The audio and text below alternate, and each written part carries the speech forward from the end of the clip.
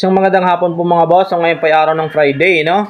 So para po ito sa araw ng linggo, yung ating karera tips at giya. So bago natin umpisan yung lahat, ako ay nagpapasalamat dyan sa lahat ng aking mga subscriber. Eh, no? Maraming maraming salamat po mga boss sa inyong tiwala at suporta. Sa mga hindi pa nakasubscribe ng aking YouTube channel, Best Time TV mga boss, So sana mag-subscribe na po kayo. Please visit na lang po sa YouTube mga boss at paki-search po yung Best Time TV para madali po kayong makapag-subscribe mga boss kung pumunta po kayo sa YouTube.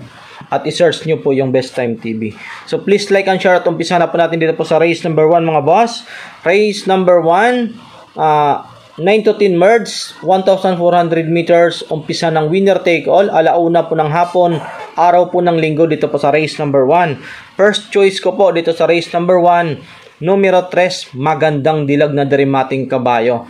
So dito sa race number 1 mga boss, uh, anybody's race po ito. Halos lahat po dito may panalo sa race number 1. Pero ang aking korsonada ay itong numero 3 na magandang dilag dahil derimati po siya. Tingin ko pwedeng maglutsahan po si Save My Savings tsaka Eye in the Sky. So tingin ko ang babandiran na rin po dito si Save My Savings. Pipilitin po yan ni Uno tapos susunod po si, si Eye in the Sky na may aking tulin. So tingin ko hindi po papatulan ni Eye in the Sky si May Saving. Susunod lang po siya. Tapos pag mak- makakuha ng magandang tempo, saka po uh, sasabayan niya si Save My Savings kung kakayanin po yung area ni Save My Savings. Dahil mabigat po si Eye in the Sky dito, 57 kilograms ang kanyang dala.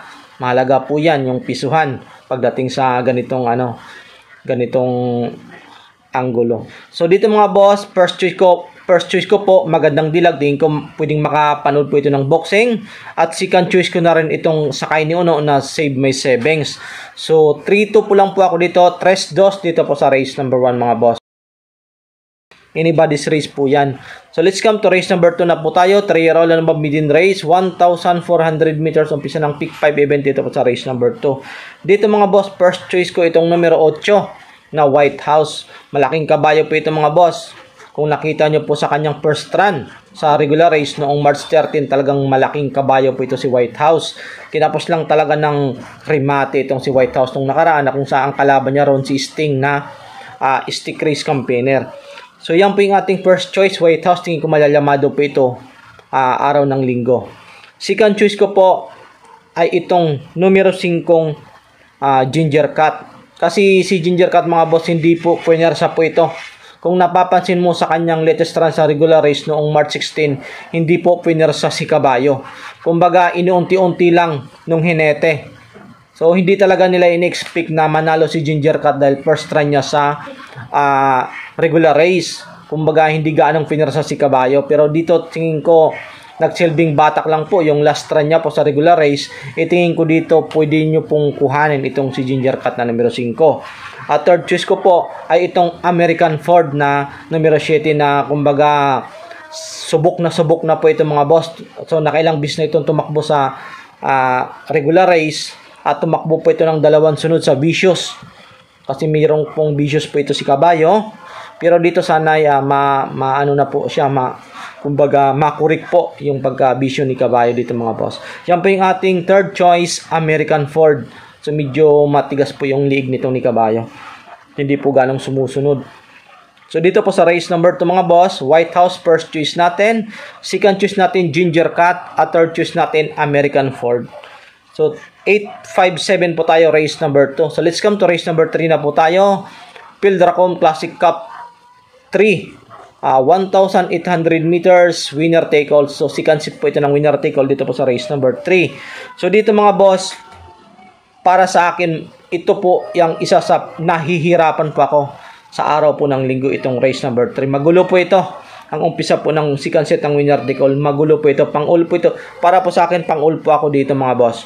So, kukuha po tayo ng top 2 pick po natin. Hindi pa ako mawawalan sa numero 6 ng Bimbalot Pulse dahil uh, stable po yung takbo po nito. So, andun na andun. Matalo man siya pero talagang natitimbang si Kabayo. Third, second place po itong si Mimbalot Pulse. So, walang kabisyo-bisyo itong si Kabayo kaya malaki po yung tiwala ko dito sa numero 6 ng Mimbalot Pulse. At second choice ko na rin ay itong numero 8 na rin na malalamado diversity na ang ganda ng itinakbo nito last uh, run sa stick race noong February 24. So dito mga boss, 6-8 po ako sa race number 3 pero magkakaladkad po ako nito para po sa araw ng linggo dahil magulo po ito mga boss. Halos uh, isang segundo lang o point lang yung lamang ng isang kabayo. Mayalamado man pero kukunting-kunti lang talaga boss, pwedeng magbago po yan. Pwedeng matalo po, depende po yan sa kondisyon sa diskarte ng hinete, sa diskarte ng koneksyon. So magulo po ito sa race number 3 mga boss. Mag, mag, magkaladkad po kayo dito. So let's come to race number 4 na po tayo. Classic, Classic Cup 2. 1,800 meters ulit. Pick 6 dito po sa race number 4. So sa race number 4, uh, ah, first choice ko Numero 4, modern kong naderimating kabayo galing sa panalo po ito ng February 24 at third at second choice ko numero 3 na sophisticated.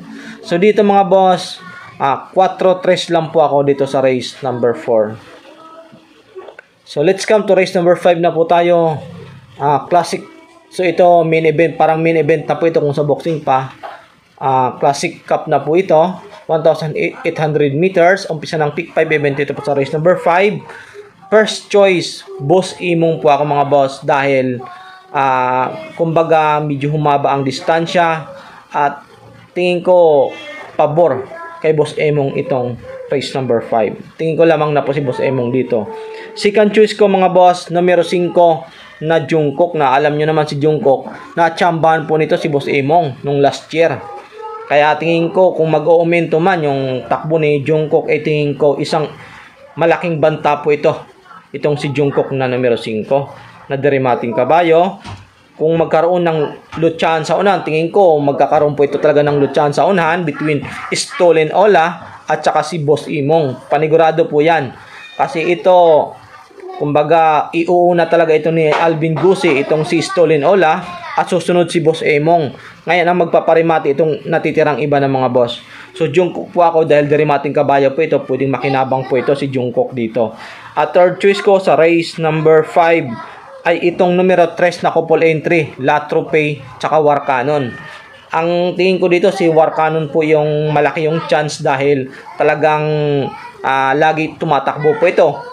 Ka kaysa kay Latrope dahil si Latrope medyo mahaba po talaga yung bakasyon ni Latrope pero sana naman po eh bumalik po agad yung kanyang uh, 100% na kondisyon ni Latrope. So dito mga boss, 253 po ako sa race number 5. 253 race number 5 po ako mga boss. So let's come to race number 6 na po tayo. 16 to 17 merge, 1,400 meters. Umpisa ng pick 4 event dito po sa race number 6. First choice ko, numero 5, uh, Top Pusey. Siya po yung magandang preba po dito. Derimating kabayong Top Pusey. March 22 ang kanyang latest run ni Top Pusey. Second choice ko, Silver Glow na rin na numero 4. So March 19 ang kanyang latest run na Derimating Silver Glow. So dito mga boss, 5-4 dito sa race number 6 mga boss. So let's come to race number 7 na po tayo. Paratingan ng per set ng winner take all. 1,400 meters race number 7. Class 5 po ito. Mababang grupo. Dito po sa race number 7. Inis Bodies Race po ito. Halos lahat may panalo dito po sa race number 7. Magulo po ito. First choice ko. Numero 6. I Love Mati. Second place po ito noong March 24. Itong si I Love Mati. Second choice ko itong Pusoy Sakiti. My Dad Bugart na numero 8. At third choice ko numero 4 Barayong. So ito naman Cambio Hinete na po ito ipinatong po kay E.R. So, ang laki po ng binaba dahil uh, apprentice po. So, yan po yung ating third choice, Barayong na derimating kabayo. 684 pa ako dito sa race number 7. Anybody's race po ito mga boss. So, good luck po sa race number 7. So, let's come to race number 8 na po tayo. 11 to 15 split. 1,400 meters penultimate race dito po sa race number 8. So bago natin umpisahan yung race number 8 sa mga hindi pa nakasubscribe mga boss ng aking YouTube channel, Best Time TV, sana mag-subscribe na po kayo. Please visit po sa YouTube at paki-search po yung Best Time TV. So dito na po tayo sa race number 8. Solo po tayo, numero 5 autumn shower. Tingin ko kaya pang manalo po ni Autumn Shower na numero 5. May angking tulin. Siya na rin magdidikta ng unahan dito sa race number 8. Wala pong gaanong pressure. So dito, tingin ko ang pwedeng sumabo lang sa kanya o sumabay, tool of choice.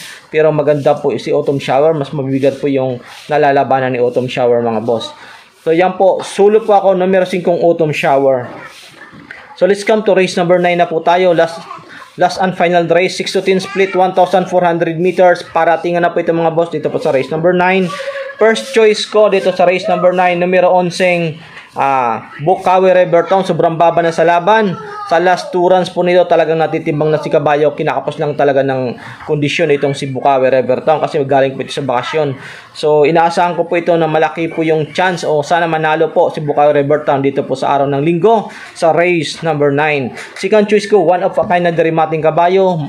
March 23 ang kanyang latest run ni One of a Kind at third choice ko. Itong numero 5 na rin na bagong baba, Beautiful Day. So si Beautiful Day Dirimating Kabayo po ito pero nakababa ng so sa grupo. Kaya sana po makachamba po ito si Beautiful Day. Dihado pa po ito mga boss na numero 5 Beautiful Day. So 11, 10, 5 po tayo. 11, Gis, 5, race number 9. So yan lang po yung ating tips para po sa araw ng linggo. Maraming maraming salamat po. Sana makatulong po aking mga boss. Maraming maraming salamat po at magandang hapon po sa inyong lahat.